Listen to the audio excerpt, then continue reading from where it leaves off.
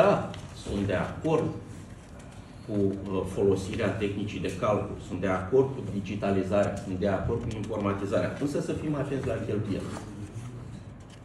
Pentru că este vorba de bani plătiți de noi, toți cei din sală, de contribuabili, deci cei care sunt acasă.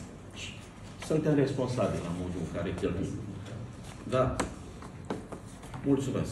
Din procesul de achiziții sau derularea unor lucrări, întotdeauna rezultă economii când o instituție este bine condusă, iar în cazul de față avem economii și nu deficit.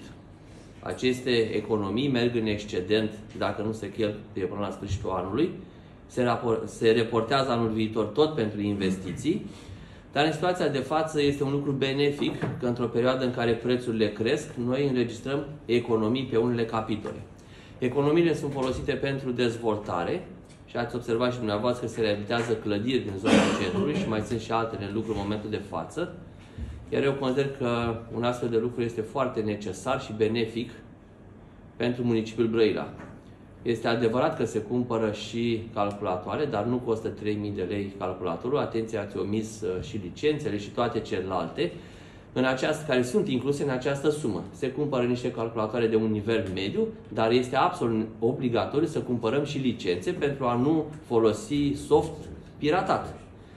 Uh, vreau să vă mai spun totodată că și în perioada următoare o să mai constatăm, adică la următoarele puncte de pe ordinea de zi, o să mai constatăm alte economii care merg tot pentru dotare, iar eu vă spun că în situația în care instituția primăriei, prin serviciile, este dotată cu calculatoare noi, cu softuri noi și performante, așa cum am aplicat și la alte programe, timpul de răspuns pentru cetățean se scurtează enorm, iar funcționarii reușesc în felul acesta să lucreze mai repede pe calculatoare noi decât pe acelea care au peste 10 ani de zile. Eu consider că sunt niște investiții absolut necesare.